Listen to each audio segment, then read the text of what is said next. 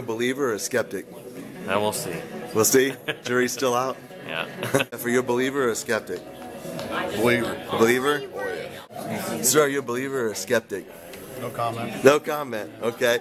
Coming to the West Salem Library. I'm Debbie Starcher, the branch manager. For those of you who have never been here, please come visit our library sometime. We are open Tuesday, Wednesday, Thursday, and Saturday, and we are run completely by volunteers. So come up and visit us. We're a branch of the Wayne County Public Library. We're so happy to have these gentlemen here today. Um, we've been trying to get them here for quite a long while. So we're excited. Huh? And ladies. And, and lady, I'm sorry. The gentleman and lady that are here, we're very excited to have all of you. Again, thanks for everybody coming out. Um, I'm glad you could make it. I think you'll find this very informative. A lot of people are skeptics about this topic, but there's thousands of people out there looking now. Makes you wonder. Unless LeBron James is wandering around in the woods and making casts like this in the winter, well, he's in Boston now, but unless he's doing that, I don't know what's making them things. And that's what you have to keep an open mind about. Jane Goodall said it would not surprise her if there was an undiscovered primate species in North America. They're very stealthy creatures. Some people say, well, why aren't there any bones? Well, we know bears exist. Do you find bones of bears in the woods? Some creatures wander off. The cougars will wander off when they know they're going to end their life, and they'll find a place where they could just lay down and kick off. So we don't know. And it's a learning experience. This is all a learning experience. The more we do it, the more we talk and network with people around the country, and now it's gone international, we learn from each other. So, um, they're very stealthy creatures. They're watching you before you even know them, that they're there. My name is Joe Overton. Thank you for coming. I'm uh, on the research team for Ohio Primate Exploration, as is Sue. American. American, American Primate Exploration, as is Sue Baker, Dan Baker, and our lead researcher, uh, Ray. Ray, Ray Gardner. Yeah, lost for words. Um, I got into this a few years ago. I, I'm enjoying it. I'm an avid hiker, avid bicycler. I'm from Cleveland, so don't hold that against me, but I love getting out in the woods.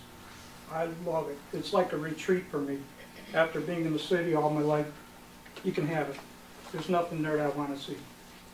Um, I was in uh, commercial construction for 30 years, I've seen a lot of things, working down in the mills and the powerhouses.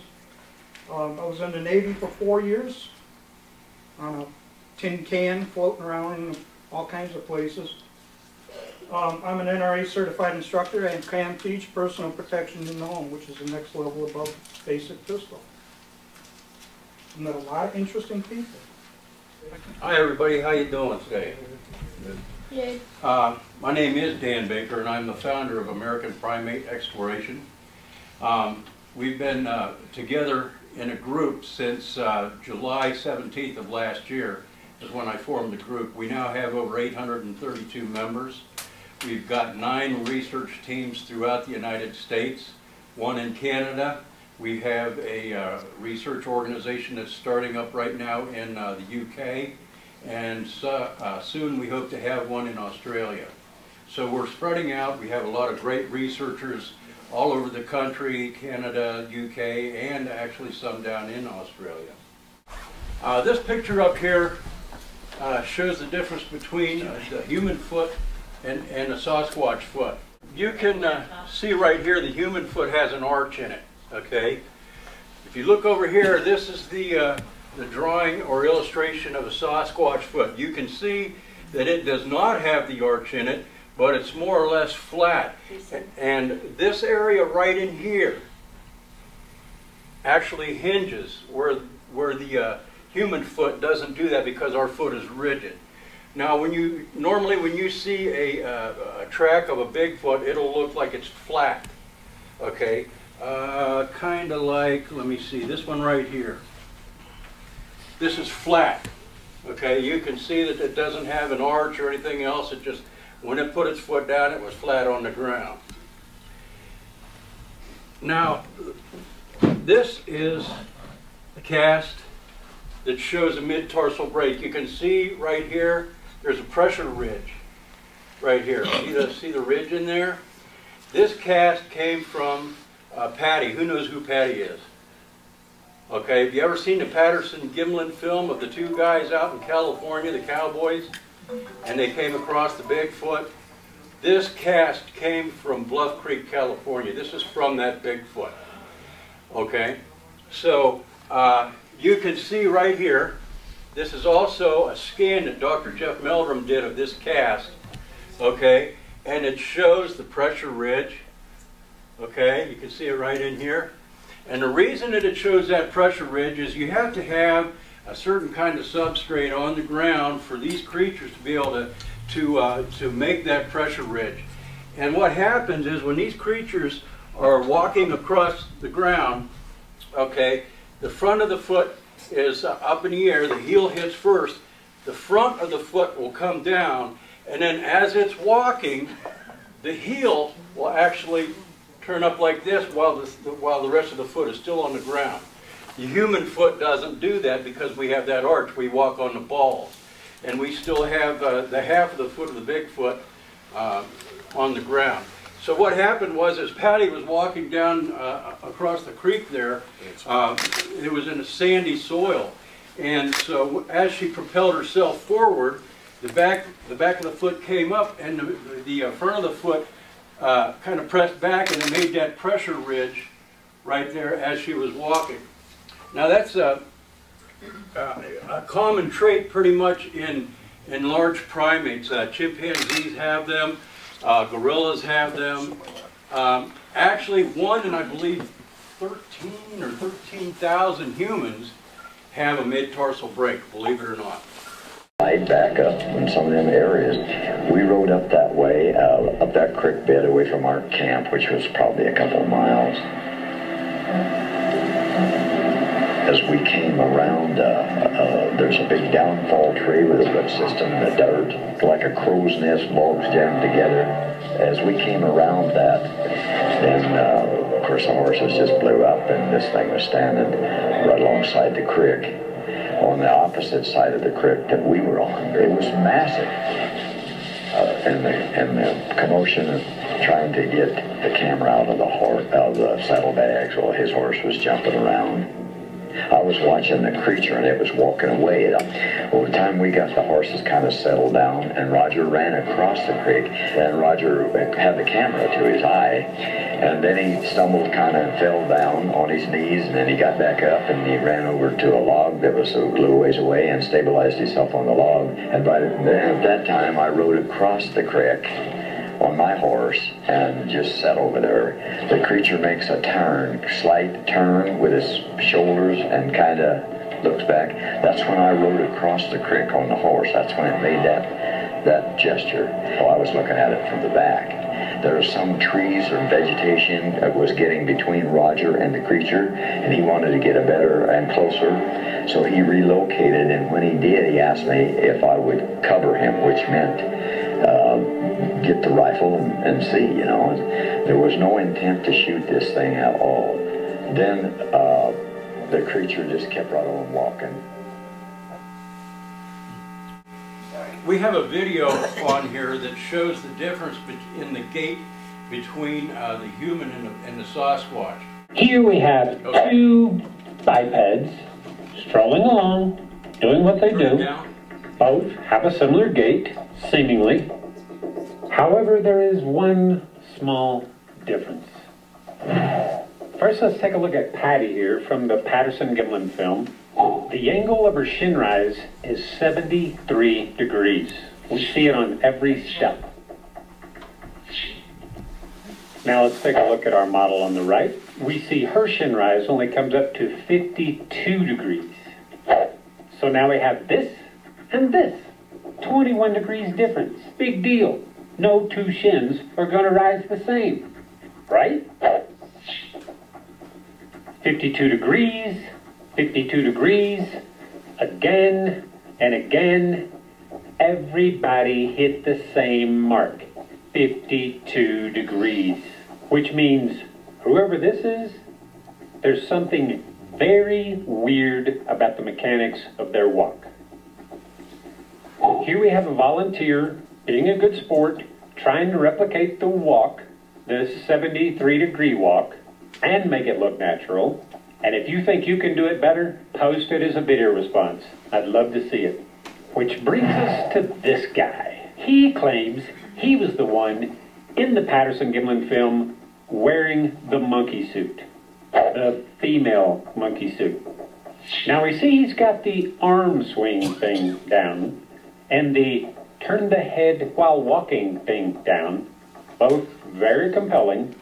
But the big question is can he do the Bigfoot walk or is he just full of Bigfoot talk? so what do you think? Can you tell now without the visual reference? 52 degrees, just like the rest of us. Seems like you can fake a lot of things, but trailing generous isn't one of them. Okay, uh, by the way, the guy that uh, claims that uh, he was in that Bigfoot uh, suit, his name was Bob Heironimus, and he was uh, an associate at, one- uh, at one time with Roger Patterson and Bob Gimlin. Um, and, and so, he, but he was trying to take credit for the, you know, being the person that was in the Bigfoot costume. But there have been so many scientists and so many people that have gone over that film uh, over the years, and it's been digitized and, and, you know, redone and redone. And uh, there have been scientific studies done, and they've brought in athletes, and they've done, you know, computer comparisons, and they cannot debunk that. They can't debunk it. In fact, I don't know if, if you were able to see at one time, uh, as, as the creature propelled itself forward, there was a bulge coming out uh, in its right thigh, just above the knee. It was, that, they say that that was probably some type of herniation uh, that, you know, that allowed the, the muscle to, uh, to pop out right there. Um, so, uh, there are other things, you know, you know, back in 1967, when Roger and, and, and Bob made that film, they did not have the type of material that you would have needed to make the type of suit that would stretch and move the way that this does. They did not have uh, the body suits and the muscle suits that we have today. And so there's so many things that, that uh, you know, uh, would go against that being a hoax that it really isn't funny. Who in the world would think of putting a, a, a female costume on a man and take him out in the middle of Bluff Creek in California and have him walk around showing mammary glands? Nobody. Nobody. I mean, who would do that? Um, but uh, I was fortunate enough last year, and so was Sue. Uh, we went to a conference, and we actually met Bob Gimlin. That's the guy that was talking during that film. And um, he actually, uh, while we were there, uh, I was lucky enough to have him sign this uh, Patty cast. So that's like an, a family heirloom of me. So uh, let me see where we go here next. Um, okay. Uh, anybody want to hear about my sighting? Okay. Um, back on June 15th of 2013, uh, we were going on an expedition in Carroll County. And uh, it was uh, kind of north central Carroll County, not too far from Minerva. Anybody know where Minerva is? Okay. We weren't too far from Minerva. Uh, and the reason we went there is because the property owner had been having a lot of strange things happen on his property. He would, uh, he would be there at night with his family and they'd be in bed about 2, 2.30 in the morning. Something would come down and just bang the side of his house and wake his whole family up. And that went on, you know, several times, and it scared the bejeebers out of everybody. You know, he used to get his, you know, 308 and go out on the porch and stand there waiting for somebody to come around the corner. And he had a hybrid wolf. He had a hybrid wolf, and that dog wasn't afraid of anything or anybody. And uh, this happened one night, and he went outside, and that hybrid wolf was down underneath his porch, cowering in fear, and he couldn't get that thing out of there. Something scared the heck out of that dog. Um, so he got a hold of us and he asked us if we could come down and do some investigating. We got down there and all over the place we found a lot of tree breaks. Tree breaks all over the place. And so on uh, uh, uh, June 15th, 2013, we were going to have start an expedition down there. And so uh, my wife and I got there about 9 o'clock in the morning, and, there, and one of the other researchers got there right before us. And as soon as we pulled into the, the base camp there, he came running up to the car and he says, you guys got to see this, you got to see this, I think I found a track. So, you know, Sue and I are going, yeah, okay. So we get out of the, we get out of the car and, and uh, you know, grab some stuff. And we always, when we go into the woods, we always carry sidearms for personal protection because you don't know what's out there. Uh, so I strapped on my sidearm and we got, grabbed the uh, walking sticks and stuff and we walked about 250 yards away from base camp and about 40 feet up inside base camp and right next to a stump there was a, a footprint down in the dirt and it measured 13 inches long. It was two inches deep down into uh, the soft soil there and um, I think it was like five, five inches wide. Uh, and so, you know, we uh, were you know, checking this out, and all at once uh, one of the other researchers got there with his son, and, uh, you know, they were checking it out and everything. He sent his son back to, to his truck to get some casting material and walked about, uh, oh, I don't know, maybe 20 feet further up into the woods and there found another track. But this track was different. It was only nine inches long, and it had a really weird protruding middle toe. So we got that cast track. That track cast. We all knew what you meant. I, I caught that. I caught that. I caught that.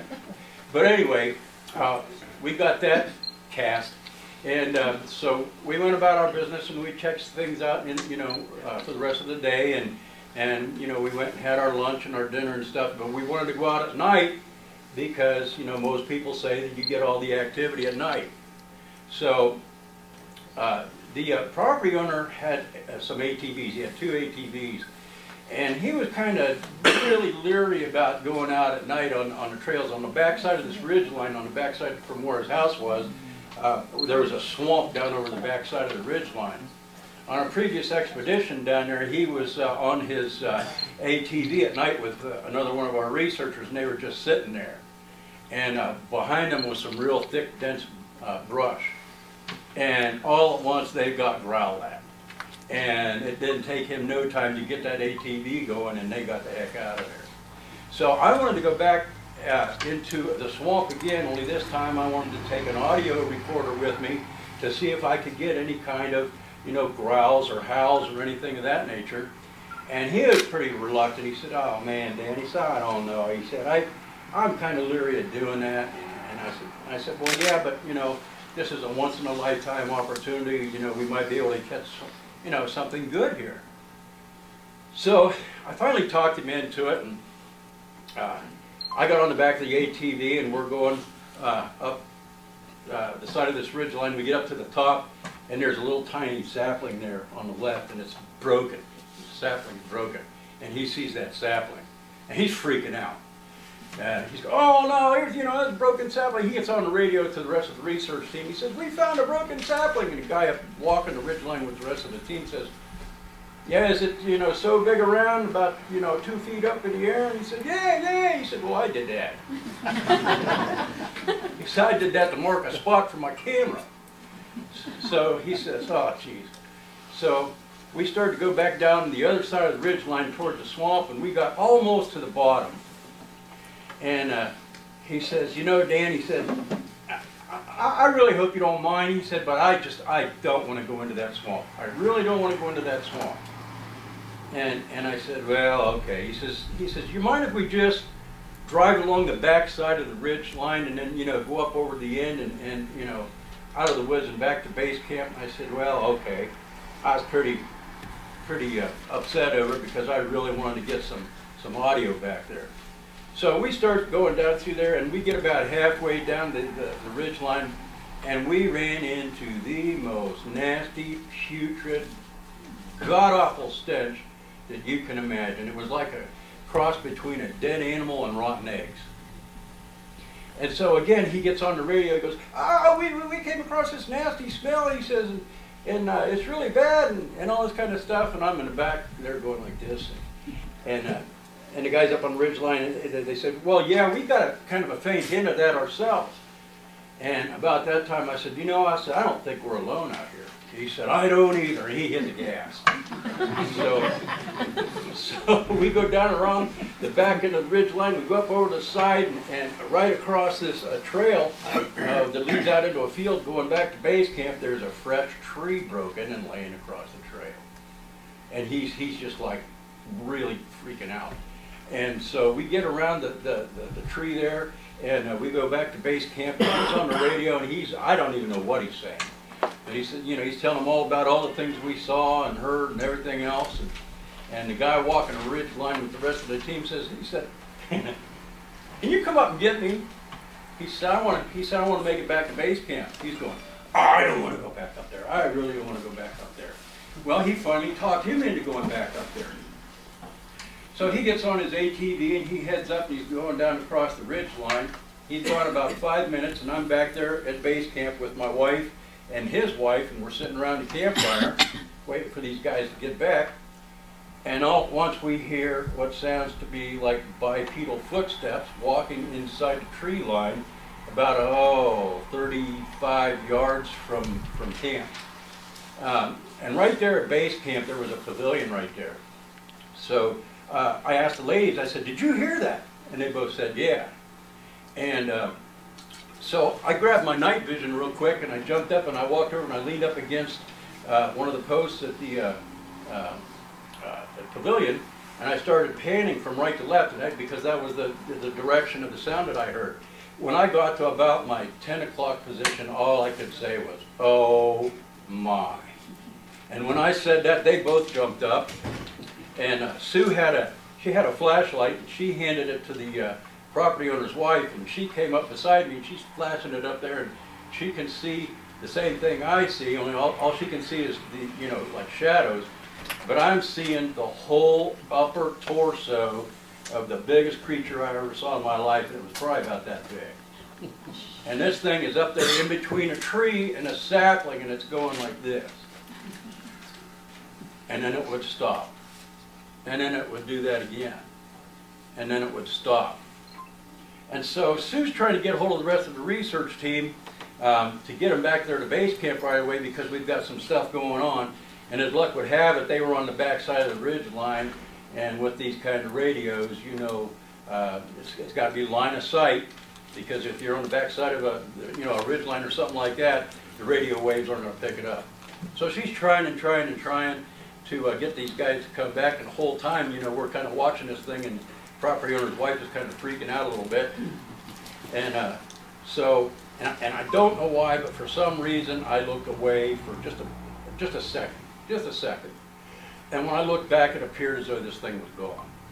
So that was it. You know, that was my sighting. But Sue finally got a hold of uh, the guys on the ATV, or not not on the ATV, but on the uh, Walking Ridge line. Well, yeah, he was on the ATV.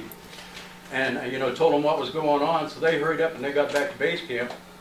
And I'm going to have Sue play some audio right now, like the last four and a half minutes of that actual sighting. No, I am, that was awesome. Yeah.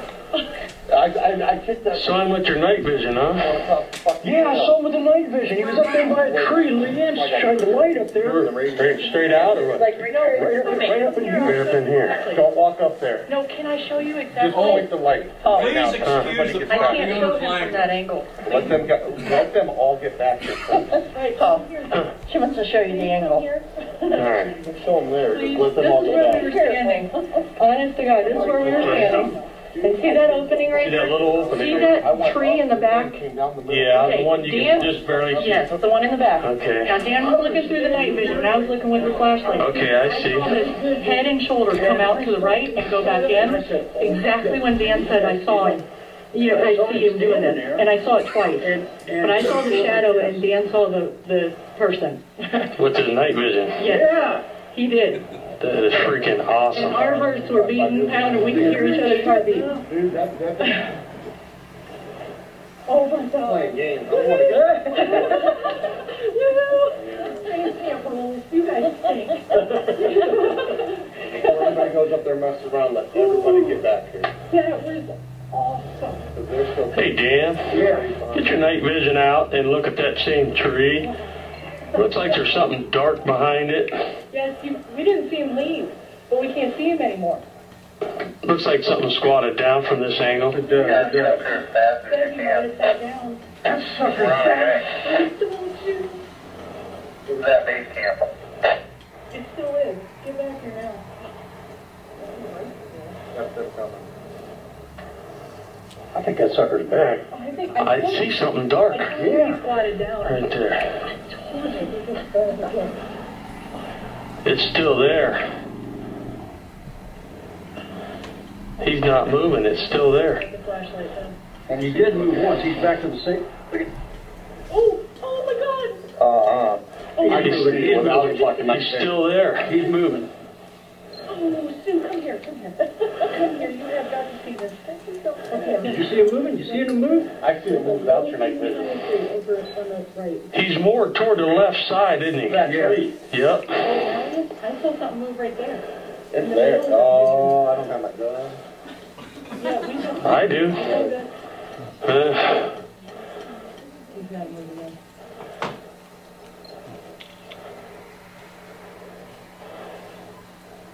it looks like he is still there, but hunched down some. Yeah, Yeah. now. We can't He was up, he was up a lot taller than Oh, yeah. He's more toward the left. Yeah. I, I see it. Thank you. Oh, did he just move? Not from my angle, I couldn't tell. No, I'm just looking at shadows, so. You guys still seeing it down there? It's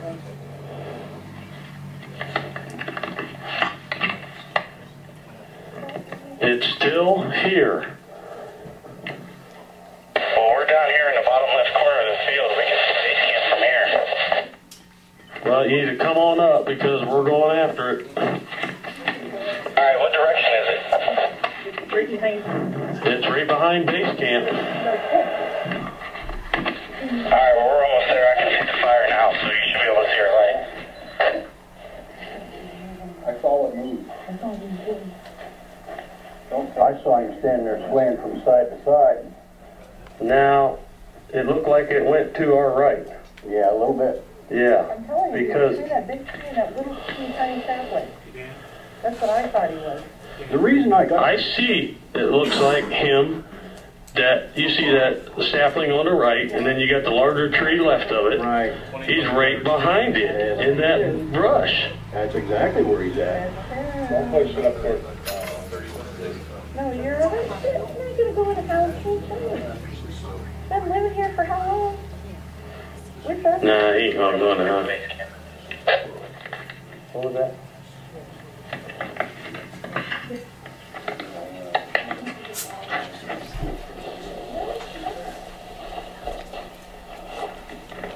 It still looks like he's still there. That was, that was one exciting night. I gotta tell you something. After that sighting and, and, and everything calmed down, uh, we all went back to our tents to get some sleep. And My wife, we have this big air mattress that we, you know, put up in the tent. And, uh, we went in to go to sleep and stuff and my wife's laying there because she's, she's dog tired. Guess what I did? I sat on the end of that air mattress for about six or seven hours just seeing that thing over and over and over again in my head. You know, you always want to see one of those things, but until you do, you just don't know what you're going to think about it or how you're going to react. Um, so, uh, yeah, that was the first time I had any kind of uh, uh, real sighting or, or encounter like that. So it was, it was pretty exciting. Um, but, uh, pardon me?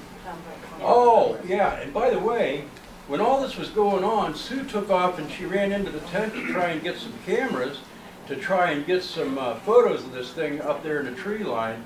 And when she came out of the tent and turned on the cameras, the batteries were dead. The batteries were completely drained. Now, mind you, those were fresh batteries in the morning when we when we got there.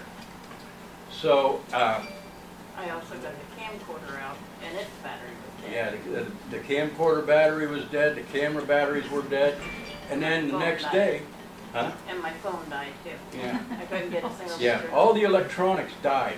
All the electronics died. But the next morning, they were all working. That, that's freedom.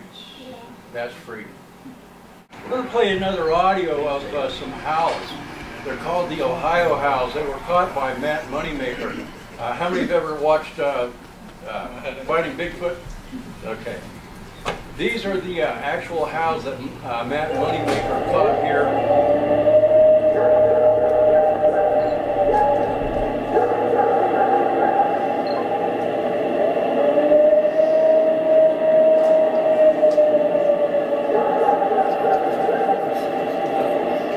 I just want to like also say this is very similar to what I personally heard, um, and it's been heard by several other people in the Medina County area. And the audio that you're hearing there is not doing it justice because the one I heard, this, that was very very close. There's a little bit of bass here, but what we heard was so loud you could actually feel it. It wasn't. It had nothing to do with like oh you can just kind of hear it in the distance. You can actually feel how loud the things are, and it travels miles and miles. It's, it's crazy. But when I heard it, the only thing that was funny, and you, and that's why I like this one so much, and thinking about it gives me a chill a little bit because that dog is barking like crazy. When I heard this, like at location one, like every dog that was in the neighborhood went crazy. And I, I mean, like, I, it was everything from hearing a beagle doing the, the, the braying to dogs just barking. And then the one other time we heard it, the, the coyotes and stuff were already fired up and they were yipping away. And it was like that, but much, much, much higher, not, not as, not low. And uh, it actually, everything stopped. Uh, The, the coyotes quit yipping, the crickets quit chirping, there was an, an owl that we heard, and it, and that was the only time I actually had a like genuine feeling of like maybe I shouldn't be around here right now, because it was like also 1:30 in the morning. So there's other sounds I've heard. Um, the stuff I'm very familiar with, and Dan will tell you, I, you know, you guys watch like Finding Bigfoot, and you hear them out there screaming at the top of their lungs and all that that's kind of just ridiculous. It's more for TV than really what it, it is. Um, there's, there's there's only one call I mimic a lot, and Dan will tell you it's, he likes it. You know, I, yeah, it's a it's a wahoo sound, and um, it's exact. The reason I do it is because I heard it steadily, and over a span of two years, I've probably heard it four or five times in what I call location one, which is here in Medina County. Um, it, it's actually, it goes from like a lower to a higher sound. It goes whoa, whoop, but like really, really loud and can't explain how loud, but, um, and we've heard that a whole lot. Now, if you're familiar with the area, I, there, you know, people are like, oh, well, maybe it's an owl. And, you know, I've heard, you know, everyone knows barred owls, I'm sure if you live out in the country. Um, they even do a thing that most people don't know called, you know, uh, monkey chatter. And they actually go, I don't know if you've heard it or not. And, uh, but this is nothing like that. It's, it's, it sounds like you're at a primate house. I mean, that's what it is. All right, well, the first photo up here that uh, Sue pulled up is one of our other researchers who's a friend of mine and personal friend of mine, and uh, his is Jeremy Walls. And this was a track out at location 306 that we found, and he's using his hands there. The track was approximately 15 inches. And uh, that was one that we found, and it was actually, that was the one that was actually close to the one pond, um, which is where at 306 the landowner had uh, his story about his encounter was at the ponds. So that was kind of a little interesting thing. Now, 15 inches, like if you guys, you know, I don't know how many people have a hard time visualizing that, but the Patty track that Dan was holding up is 14 and a half, right? Right. So uh, it's, it's a little bigger than that. Um, that's, that's the cast here that you can see right there. It's this one right here. This is the one that we actually casted out there at that location. This one was 14? Twelve. 12? 12, okay. And, uh, but this was out at that location, and once again, it was right by a little swampy area that was actually a pond. Like, how many does he have there? The- Oh, he's got a lot. Yeah, he's got like at least six. It's actually designated wetland. Uh,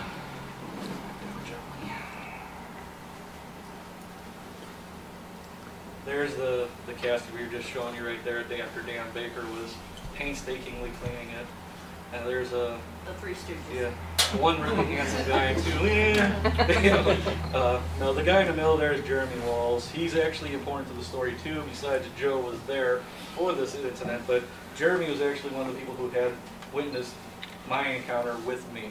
So like, and it was like I said, a complete fluke. Um, you were there when you cast it, right? Yeah. Yeah, Joe was with us when we did it. Oh, okay, now here's my favorite picture. Like, I, this is one of the ones I could play, like, anyone here do any, I know a few obvious hunters, but did you guys do any trapping or tracking or anything like that? Because there's some fun stuff in this picture. Um, this is the very first print I found. This actually started my entire interest in this. Um, I was actually out fishing. If anybody can take a good look here, I just want you to know that this bottle is a two liter.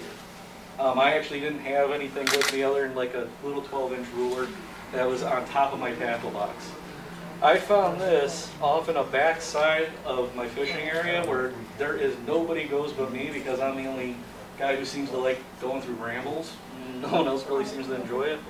But uh, when I found this, it was the only print, and it was right at the water's edge, just off the edge of the water, like literally about a five foot step. This was the only one, and uh, the reason I like this, being like you know on a tracking kind of it, is you can actually see it is a flat print, just like Dan Baker was talking about. But I also, just on my personal side, I love the fact that you can also see a paw print in here, and you can actually see where there was something else that had stepped.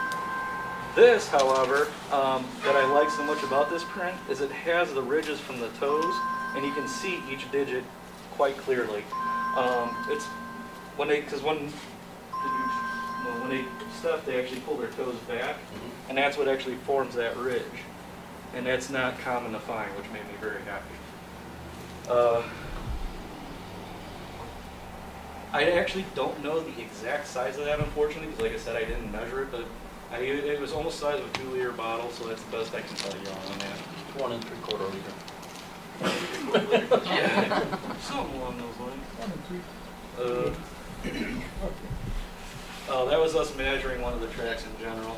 Um, since we're on the subject of the tracks here, this is my little handy dandy tape measure. I decided to carry one that's like for fabric, you know, because it's a lot lighter than carrying a big metal one around all the time.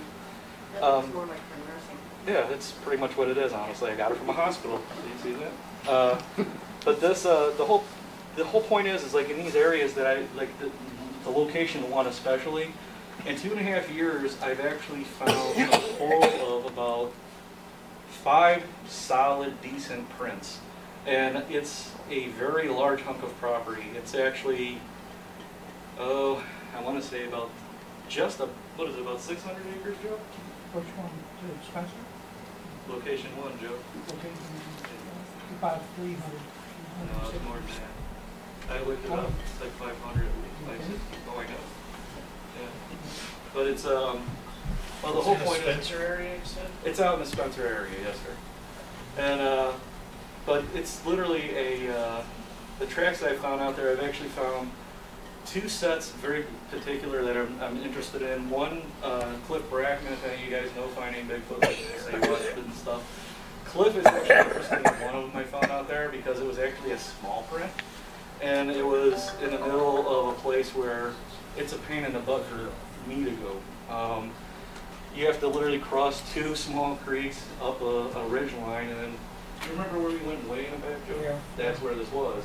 And it was a small print, but it was only about six inches long, but it was flat and actually had the toes, and once again, there was only one.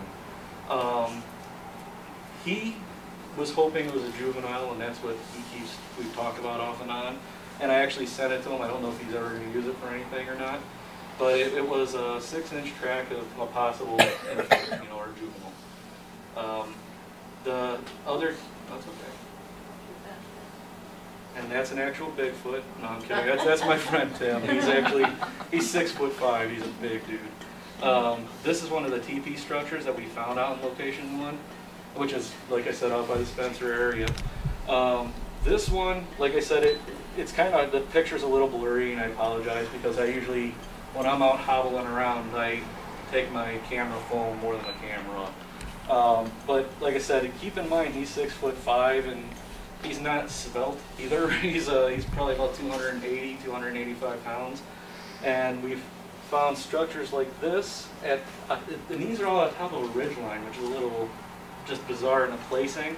But we found this kind. We've actually found. Um, this last winter when Joe was with us, we actually found what I feel was like a shelter environment for one, where an uprooted tree had come over. And, uh, you could get it on. well, the tree came over, you know, like, you know, you ever see a tree when it pulls over, you got the big old root ball and everything, and it's like a big tree pulls the dirt up. Well, this is what we, I saw, like, when I was walking through the woods, it was like covered in snow, and I looked at it, and when we walked over, I said, well, you know, man, if it was me and I stuck out here, I would use that as a shelter, like, totally, you know, logically, but joking half-heartedly. And uh, we went over and looked at it, and the first thing that struck us was the inside of it, like if you actually stepped into it, it smelled horrendous. It wasn't a, wasn't like methane from like rotted vegetation, you know, that kind of thing. It was foul. Um, and the weird thing was, it was nowhere else. It was only there, and this was an older down tree. This wasn't like brand new. And uh, the second thing was, it had been completely like cleaned out. Like there was no, it was perfectly flat, and uh, we actually did find a uh, set of knuckle prints that were actually in it, which are similar to this, but not quite as large. Um, and I, at that point, we were so far in the back, I didn't actually take the plaster with me, which was a stupid thing to do. Uh, we tried to go back to, to cast it, and the next day, and it was already gone because it rained. It was like really, really decayed already. Ahead. You guys ever take soil samples from the tracks? Um, I don't for one reason. I don't know. Do you ever do that? Jim? No. Well, my thing is, is uh, I don't know anybody who could analyze them properly for me. And uh, you know, I, I don't have the kind of money to. I would let, there's like stuff I've wondered about DNA, and I and I'll, I'll keep this very mild when I say I've actually found very questionable fecal matter out in the woods twice, and I went, man, I should like collect that, and then I went, well, who's gonna analyze it for me? I don't know anyone who around here who would do it. Plus, it costs money to do it, you know. And then I- I'm kind of glad I didn't go through the hassle of doing it because I was also told by someone who actually works in, uh, oh, I forget what he calls people who work with bones. Like the, not like anthropology, but like taxidermy. Yeah, like taxidermy and stuff. They told me that any, any, like, kind of like, if you're gonna use something like that for, to be viable, it would have to be from what hit the ground first. Like, so it's like anything that's on top wouldn't have been usable anyway. So I, I went, well, that's kind of weird. I wouldn't have known that. I just would have taken a small sample and went off about my business. All right, this here is one of my all-time favorite pictures. Um, I don't know how, can you guys see this okay? This was out at location one. Uh, if you can see the tape measure here to here, and you can actually see the, the two tracks right here. Now, the weird thing about this was when we came out to this, ar- to this location, there were no tracks. There was none. We came out, it was literally negative 11. Nobody was there. It was terrible. I actually walked out of the car and I went, well, this is stupid. Why am I out here? And uh, so we decided to go walk a little bit. You know, it was freezing, so we came back to the truck. Well, when we came back to the truck, I decided I was like going to go out and take one more look around. And you can see where we were walking right here. Well, across the entire length of this open field was this these set of tracks. And they were exactly six foot in between each step. And they're one in front of another. They're not side by side. And the thing is, is like it's kind of hard to see in here, but you can actually see where the divots of like the toes were as it went across the field. Now, er- I always tell people like they're like, well, how come you know it doesn't look so deep there? This photo, like I said, is not the best photo, but it, it was actually snowing too, plus wind. So it was starting to fill in the actual tracks. So like the amount of time we were gone, it, it hauled off across that field, and by the time we got back, it was starting to fill in already. And I, I mean, another 20 minutes, and we probably wouldn't have even seen it. So that, that was one of my favorite finds, and uh, to think about what else. Oh, all right. We're going to talk about, for a minute here, we're going to talk about my actual sighting so you guys can hear my experience. I uh, have always been into hunting. I love fishing, still do. I actually had to give up bow hunting a few years ago, and it broke my heart. But uh, I have been hunting all over the place, like here in Ohio. I've been like uh, someone we were talking about Shreve. I've been out there. I've been um, to Pennsylvania. I've been to just about everywhere. I mean, like anywhere you can go hunting, I love to hunt. I always did. Um, I had never seen a thing, and if you would have asked me about this over two years ago, I would have told you, nah, I don't buy it. Um, now, that being said, that guy Jeremy and the big guy Tim were actually with me one night. We were coming back uh, just outside that Spencer area. And I said, hey, you know what, let's pull in there. It was an open field. They said, let's go look and see if we can see any deer, you know, roaming around. It was just before dark. And I said, let's go look and see where they're going in and out at. So we've got a couple ideas and setting up for maybe for hunting season and stuff. So we pulled in, and like what we saw was when I first pulled in, like it was, we, I got out of the car and I got just a big old 4D mag light, and I was shining the light. Well, I saw these eyes across the field. I mean, you could see the weeds and everything, but the eyes are what caught my attention because they were glowing. It was neon green. And uh, when I saw it, like it dawned on me at first. I thought, I'm like, well, man, the weeds in this field are literally about four and a half foot. And I went, man, the eyes are above that. I'm like, that's big, you know. And I'm thinking, well, maybe it's just like a really. Big, my first thought, honest to God, I know it sounds dumb, but I was like, that's a big deer, you know. And I'm thinking in my head, I'm going, ooh, I got to figure out how, where he's going, you know. And uh, and then I thought, I'm like, man, that's too big for a deer. And I thought, well, maybe it's a bear because they've said they've had a few sightings here and there of bears, sporadic, and no, that that didn't match. And I even honestly thought, as far as one, like, I wonder if someone's horse got out or something because you couldn't really see. It was right at the edge of the wood line, just on the other side of these weeds. And so we're watching it, we're watching, it, and everyone's asking me what's caught it. It's like, what is it? I'm like, oh, I don't know. And we watched it go. It walked about, I don't know, 25, 30 yards and went right into the woods. Well, Jeremy, who's like, he's an ex-Army Ranger. He actually, we got that, it started raining a little bit, and I said, well, let's go get some coffee and we'll come back and we'll kind of try to get over there and see what was there. So we started to pull out in the truck, and Jeremy being Jeremy, which you can attest to this, Yeah. he is not, he has no sense of fear. He has, yeah, he, He's- no, he's not afraid of anything. No, he, uh, so he actually said to us flat out, he, he goes, well, you know what, let's go back real quick. He said, I'll walk across the field, and I want to see how big this thing really was. Because when it looked at us, the eyes seemed to be about that far apart, if that gives you guys an idea. And they were big, it was neon green. That's the thing that always sticks with me the most on that part. And uh, so we get, we pull back up, well this time we pull the truck facing in, so we got the KC lights on, and he goes, starts walking out, and I said, well, Jeremy, and I said, you want me to walk with you? He goes, no, no, you stay here. He's like, I'm just gonna walk over, and when I get in about right area, you tell me, you know, where it's at. I said, oh, okay. So he starts walking out, and he gets about, oh, 30 yards from us, and the, the eyes come back. And they come right out of the woods, and all we can see is it's right in the wood line, and all we can see is these glowing green eyes looking dead at us. And like I go, Jeremy, and he's like looking, he's like, oh, I see it, I see it. And he's like, yeah, it's to your right. And so he looks back at the truck. Well, we got these KCs just a blare, you know. So he's like, he loses it again, and he starts walking like, more to your right, more to your right. And he keeps looking back, and I'm like, well, once he got within about 20 yards of this thing, he kept looking back at us. It stood straight up, and uh, when it stood up, it was actually bigger than this. It was actually when it when the people came out like from uh, was from the BFRO to actually take measurements. It, they measured where it was standing. It was very very easy to find because it was standing under an overhang of leaves, and uh, it, that measured eight foot two. Um, they, they found tracks that were 17 inches on site, and uh, this thing was standing there looking down at him. And the only thing I had in my head is I went, well, he's dead.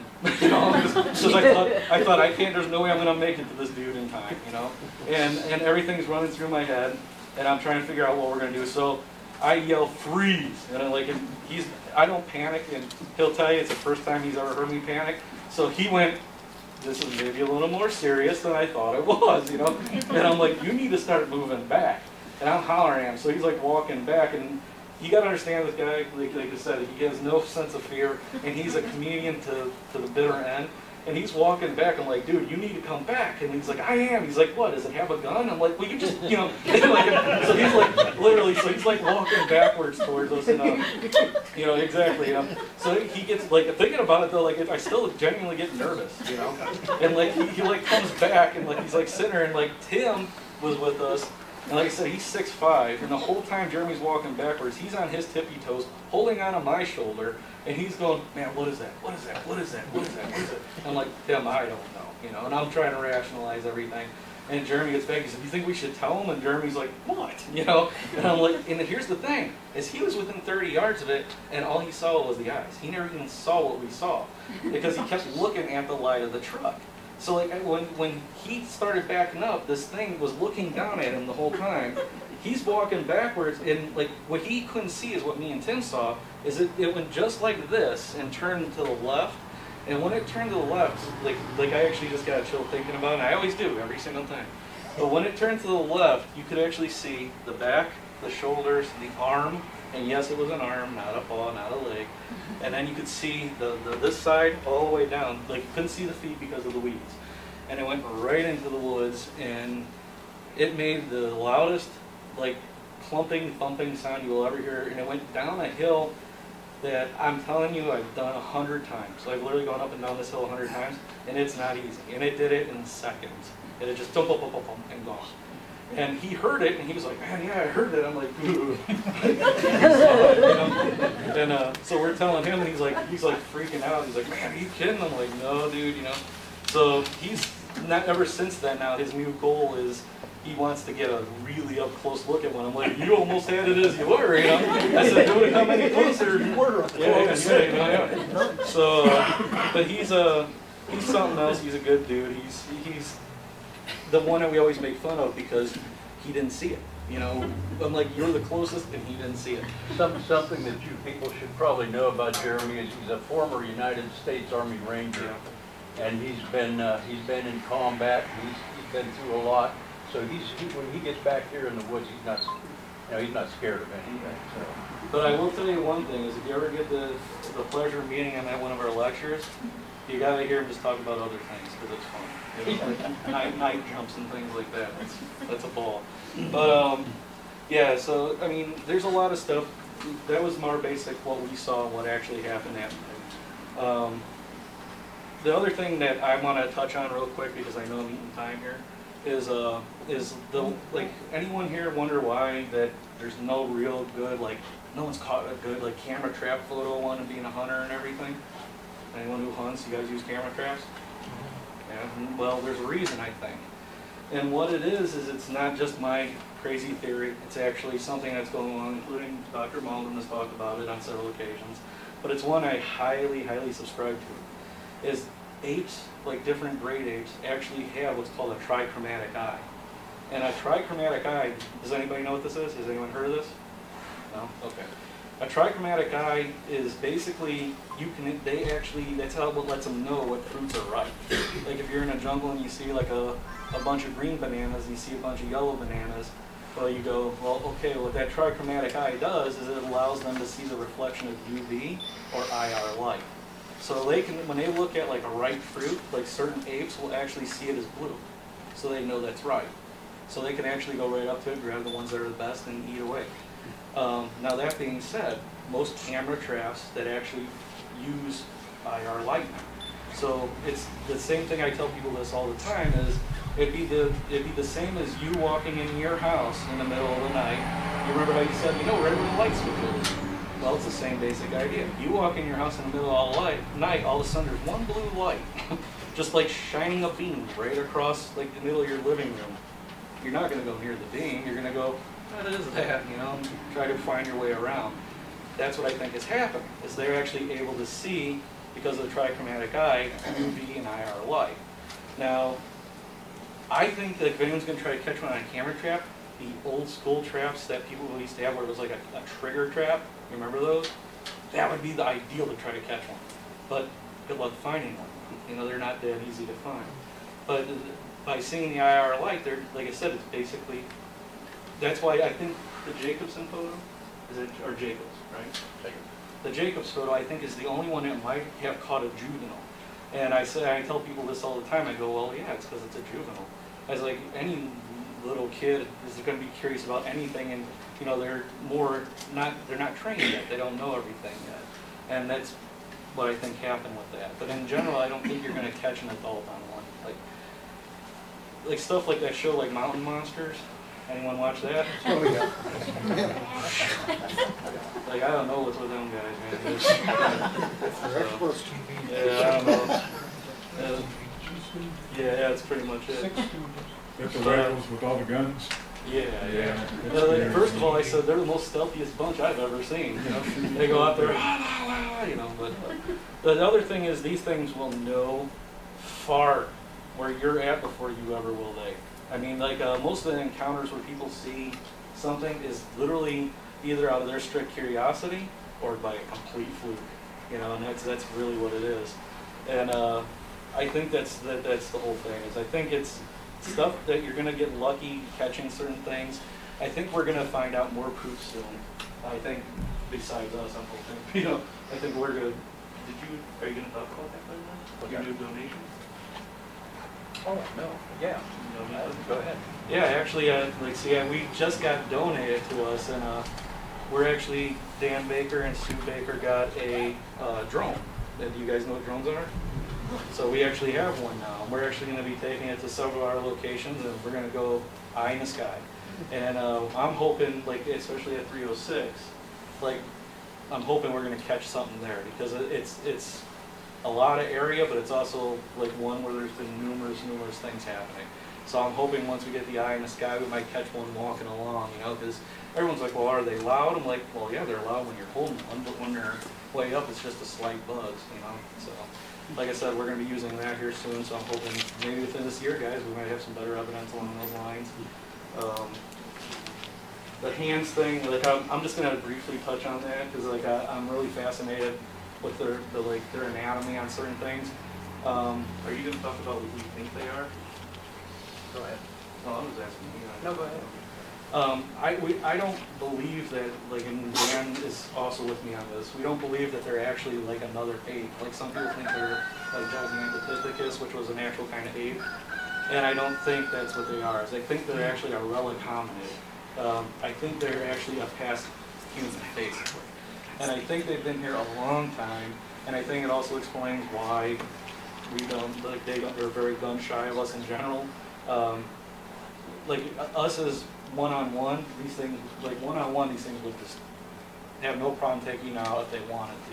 But the, we as pack animals, which is what we were, like we get together, we're mean, you know. Like we, I think we chased a lot of them out, and they actually forced them into areas where we couldn't survive, and that's where they've adapted and they've lived. And um, I think now that there's more people spreading out from society in general to like bigger open areas again, you're gonna have more and more encounters. Um, the hand structure thing that I want to touch on is Dan Baker had, had are you using this picture clear? It's it's Okay. He's gonna show you guys a picture at the end, and I, I really love this picture. He got this from this last winter. That was in, uh, just outside of Leetonia, Ohio. Was out in Leetonia. Um, it's a handprint that's actually, in my opinion, perfect. It's like, it's like, it's anatomically perfect. Like when you look at our hands, you know, we got, you can see our, like, you know, I always make the joke that when kids are learning left and right, you go, this is an L, you know, that's your left hand. But if you look, that's how it's actually structured. Well, theirs isn't. Their, their thumb is actually set. Yeah, you guys, it's more like a gorilla hand. You ever see a gorilla hand? The thumb is actually shorter, but it also leads to it having a, uh, what's the tendon called? The one you were talking about? Flexor tendon. The flexor tendon, like right in here. And I wasn't gonna touch on that, but that's actually for strength and grip. And I think that's what it is, because a lot of people who actually um, see these things like do what's called tree peeking, anyone hear that? What they do is they'll actually stand by a tree and they'll look around a tree. Well, they don't grab a branch like this and peer around. They actually have to keep their whole thumb locked with their fingers to do it. So they actually can grip and look around. But everyone who sees them peeking like that will always tell you the thumb is right next to the hand. See it here? This is what I love. This is like probably one of my all-time favorite pictures that you guys got, and this was like just this year. Like you can see right here, I mean, hey Dan, hold your hand up for a minute. That's Dan's hand, so if you want to imagine how big this actually is, I have found one other handprint, and it matches this very similar in two different areas. Um, I actually have a, uh, a foot cast from uh, the creature that uh, you're going to be seeing on this film also. Here we go.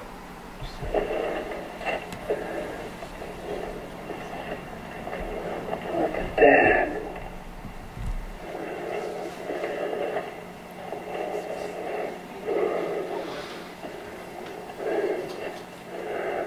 See much up through here.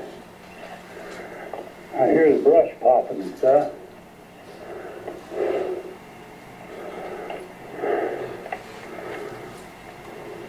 Oh, there he goes.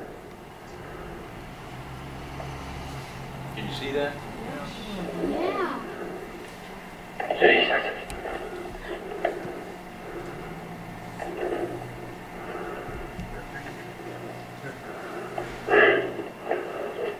Get up here where I'm seeing real quick. Get up here. Get a better, better picture of him. Where was this at? This was out Uh-huh. in uh, Down on thing, California, where the cock at in there. in the Blue Mountains, Yeah. just outside of Walla Walla, Washington. I said California, didn't I? Just outside of Walla Walla, Washington. Somewhere.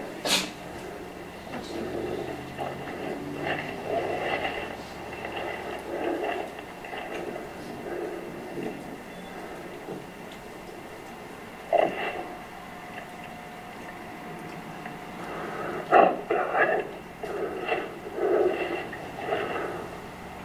There's two of them, I guess.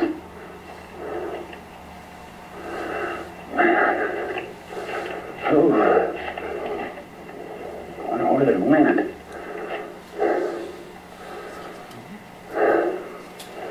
Oh, God. Two of them.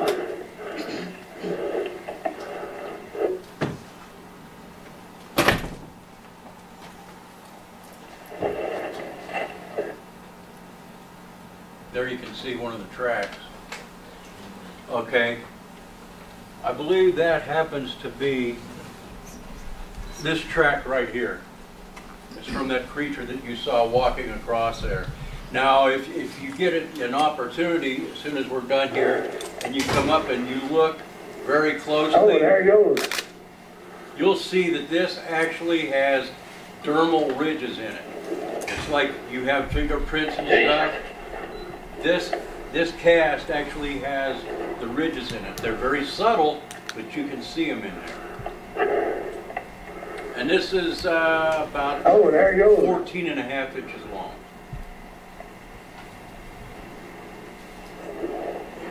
Uh, Paul Freeman used to work for the, uh, the Forestry Service out there, and because of his belief and his research in Bigfoot, he actually lost his job. And, uh, but, it, you know, he kept on doing uh, the research up until his death, uh, and I think that was in 97 that Paul Freeman passed away. But um, during that time, he came, he, he was able to cast so many tracks uh, and handprints and knuckle prints. As a matter of fact, this knuckle print right here was made by Paul Freeman.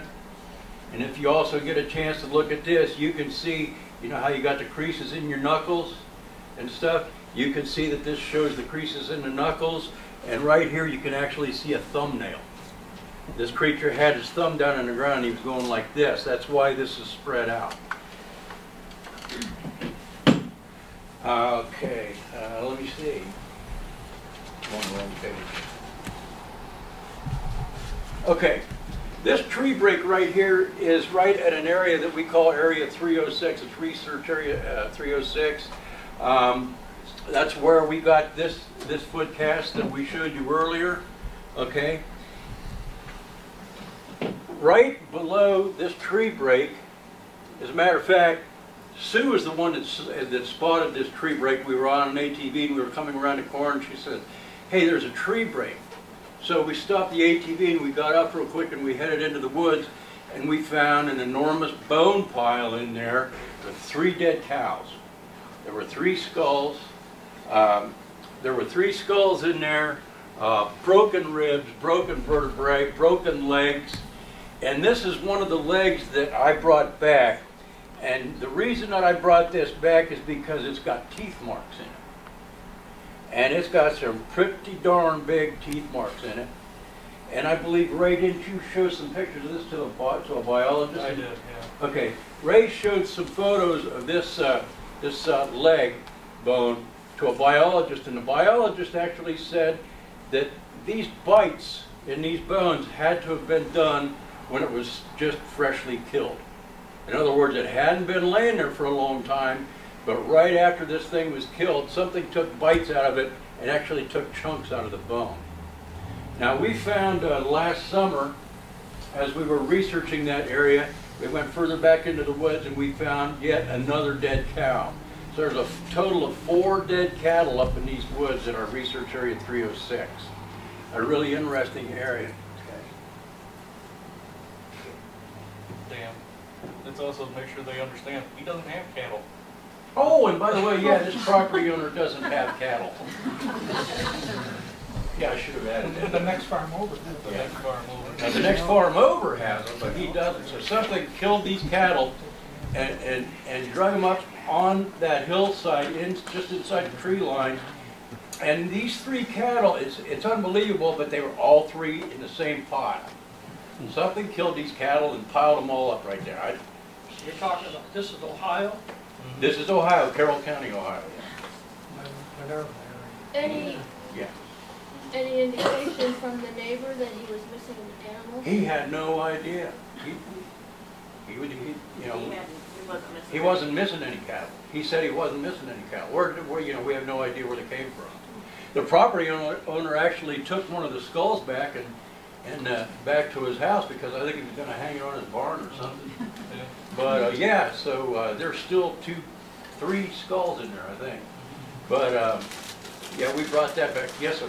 Um, The, the ones we found, um, the teeth marks on that are square rather than chewed like a coyote or something else like that. The ones we found, which looked like a leg bone of a deer, eh, kind of in the middle of nowhere, and it had square teeth marks, you can see. Square teeth marks.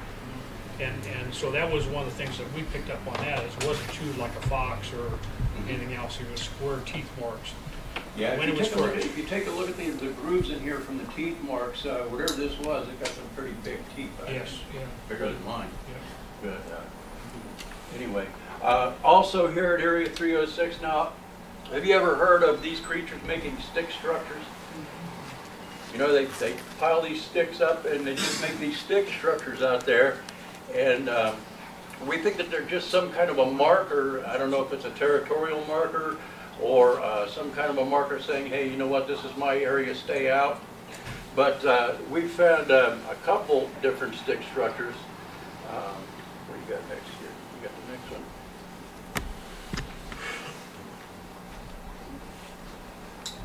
Okay, here's another stick structure that we found not too far away uh, from that first one. And this is all up in the, in the area where we found uh, the, the first tree break and uh, all the cattle bones. So, let's see what's next here. Okay, this, again, you can see me standing here next to this tree break. That thing's six inches in diameter. And you can see whatever broke this, broke it and twisted it as it broke. You can see how it's twisted. That's a six inch diameter tree. I, I know I couldn't do it. This is a fresh tree break and this was about 10 feet in the air. And this is all in the same area.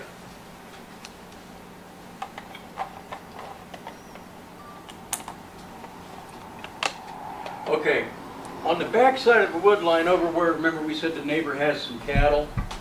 Uh, on the back side there, we came across this animal. I have no idea what it was because it was so badly mangled and mutilated. It actually appeared to be ripped down the middle in half, and half of the creature was actually draped over top of the top uh, rail of a barbed wire fence. I have no idea why that was there or, or, or anything else unless it was, you know, maybe possibly a warning or something. Uh, but uh, w- the next time we went back, it was gone. So I have no idea, you know, what that was, what that was all about. But it sure was strange to find that on top of that fence. And here I am looking for Frodo for the. no, I, we wanted to show this because we wanted to show you how dense some of the forested areas are that we go to. This again is at our research area 306. And in this particular area right here, uh, last summer, Ray and Jeremy that we talked about earlier, and I were up in that area, and uh, we were uh, checking some things out. And as we were uh, coming out of the woods, we got to like a little clearing, and back behind me, uh, there was some real heavy brush uh, behind me. And so we were standing there talking, and all at once, how many of you know what northern pecans are? Okay. Um, they're pretty rare, you know, around here, but there's northern pecan trees up there. And we happen to be standing underneath a maple tree. So behind me, about 15 feet, was big, thick, heavy brush. And we're standing there talking, and Ray's kind of facing me, and I got my back to the brush, and Jeremy's over here. And Ray said all at once he could see something flying through the air. And this thing came flying through the air, it bounced off a tree branch and cracked me in the back of the head. And he reached down and grabbed this, and it was one of those northern pecans, but it had been shelled, and it was wet. I should have brought that.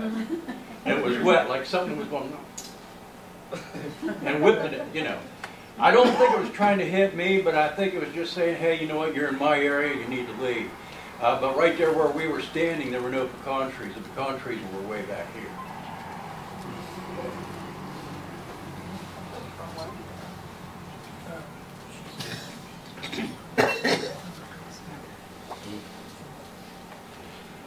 Okay, this particular area right here, I believe this is the lake where uh, Jeremy and Ray found the, the track that we showed you where we cast, that they cast. Um, This is the lake, right along the edge of this lake is where, where this uh, track was found. Now, this is designated as marshland by uh, the U.S. government. And he, he owns it, but the, the government designated it as a, a wetland. Now, here's, here's Jeremy right here. Uh, in this picture right here, Jeremy uh, just heard, I think, a tree knock or something. And he was looking off into the distance to see what, uh, what made the noise. Did you hear the quacking too, the rat quacking? No, I was going to tell them about you hearing the clack. All right. We have that picture of Joe on there, go ahead. Anyway, at, right after Jeremy, or right before Jeremy heard that, There's Joe, a dashing young man. quit. But, um, right before Jeremy heard that wood knock, uh, Joe was off in another area and he could hear uh, rock clacking. Have you ever heard that these things will do rock clacking, they'll clack rocks together? Joe heard that and he came running back to us and he goes, were you guys doing rock clacks? Nobody was doing anything, we didn't hear it. Uh, we were too far away in the woods. The landowner thought it was us doing it. Yeah, and the landowner, yeah, the landowner was out there and he heard it as well. So, but here's Ray. Um, Notice these, these tree grow, tree bows right here? It's, it's not the fact that these things are bowed over. A lot of times in nature you'll see that. You'll see trees bowed over like that. But these three were bowed over together and they were held down on one end uh, so that they couldn't come back up. Something put them, bowed them over and placed objects on, on the bottom of them to keep them there. I, I don't know what you had in your hand there, a brick or a rock. But, uh, and here's another structure that Sue found. And this is really odd. If you look, these are all intertwined and woven together. Okay? I don't think that that could be done naturally. Um, okay? Y'all know who Dr. Meldrum is? The scientist? We had the pleasure of spending some time with Dr. Meldrum, and he, he posed with us, uh, with our Lakota here. Between UFOs and Bigfoot, have you reported any of that, or? I- I don't personally put any stock into that. I believe, like I said, I believe it's more of a terrestrial, I think it's pre-modern man, you know, it's sort of, we've heard, we've heard a lot of different things. We've heard, you know, that they can float, you know, they can be standing in front of you and all at once just go, they're gone. We've heard that they shrink down to about six inches and scurry away. You know, we've, we've heard all that kind of stuff. Oh, just because of the camera thing, where they wouldn't work, and then, Yeah. you know, that, I mean, they, you know, when But, people uh, have these. no, we believe that they are a living, breathing mammal, uh, you know, uh, you know, probably, uh, most likely some type of relic hominid. Uh, we, you know, we not only study Bigfoot, we not only do the research on the Bigfoot, but we study anthropology and great apes as well. So that's why we have some of the, the, uh, the knowledge of the anatomy and stuff, so. Um, but no, I don't, you know, they don't drop out of, uh, yes, sir. Do some Sasquatches attack people? Do they what? Do some Sasquatches? There have been cases, there have been stories where they've attacked people. In fact, the, the name of the Ohio Grassman, you've heard of the, the Ohio Grassman. Um, that all came about uh, because a, a man and his uh, uh, daughter were uh, walking down a dirt road someplace here in Ohio. I forget what county it was now. Uh, but this was like in 1860 something. 60, was it 1867? 1867, and uh, out of this real tall grass came this creature and it attacked this guy, and it was just beating the crap out of this guy. And uh, his daughter grabbed a big old rock and smacked it in the head with the rock, and it got up and took off. And they, they, they started calling it the grass man because it came out of uh, the tall grass. Um, there have been other stories where they say that they've been attacked and, you know, people have been attacked. Uh, but there's, there's absolutely no, no real proof of that. I can tell you for a fact that if, if they were that mean, uh, none of us would probably be standing here talking to you. Just for the record, Jeremy definitely wouldn't be. Like I said, he was about only 15 yards from one, so 15, well, really about 30, but to me it was too close. It might be that they don't view us as a threat either. Uh, I suppose if you got close to their nesting area or their family, it might change, to have a change of mind, you know, any critters like that. Even the deer, you get close to the little ones. I've had them come in my backyard, the little ones, and start pumping their front paws on me, as, as high as his desk. And I said, whoa, if mommy's around, I'm in trouble. Yeah, So I you're got- only three foot tall. Yeah. I wasn't much taller than the deer, you know, but anyways, they, they- they, they will. Critters, who knows what they're gonna do. That's why we carry sidearms. Well, that's just it, as I tell people, like, when people ask me a lot about this stuff, we talk in general, I always tell them, I said, don't think of them like an ape or like a person. I said, I actually treat them the same respect you would a bear. That, that's the easiest way to be safe. Yeah, if you ever do happen to uh, encounter one, don't turn your back on it, don't run. Uh, Because that will probably, you know, uh, cause them to attack you if they are going to do that. Yes, sir? I wonder how many other people in here have, have witnessed anything. Yeah, how many other people in here have had uh, sightings or encounters, anybody? Any strange occurrences at night? Yes, sir? South of Loudonville, South of Loudonville? about ten years ago or so. My father-in-law and I was coming back home from Loudonville and we seen this great big thing come across the road just south of the uh, Ohio ninety-seven. We didn't know what it was, so we never bothered to try and find out. I don't think we were the only ones that seen it either. There's been sightings in that area of recent, within the last year or so, like at one at, uh, the castle. Then there's been another one over by Nashville, Ohio, that was, you know, people legitimately swear what they seen. And the one guy I know personally, and I believe him. Well, just for a point of information, there's been, Ohio, according to the BFRO, is the number one state east of the Mississippi and fifth in the nation for sightings. You're talking behind Northern California, Oregon, and Washington. So, I mean, we think they're here, and there's quite a few sightings on uh, the west side of the state. They seem to follow the river patterns. We're seeing that. And uh, I think Ohio's got them here for sure. Yep. Any other questions? Yes, sir. Um, how many times do you go somewhere for a sighting and you just find out it's someone trying to get their name in the paper or get their You know, there's a lot of people story out on there the that are news? trying to make a name for themselves, you know, for, for one reason or another. Um, uh, We don't do that. We go out because we want to find evidence, we want to find proof. Uh, we go, we, we go out as often as we can, uh, to our different research areas, and we have new, uh, areas open to us all the time. But we do these kind of things here to try and get information from people as well as educate. Um, uh, We go out probably, well, you go out, like, every other day, but, uh, uh, we go out quite a few times a year on, on expeditions and, and stuff, and uh, we stay in, know, our tents and campers and stuff.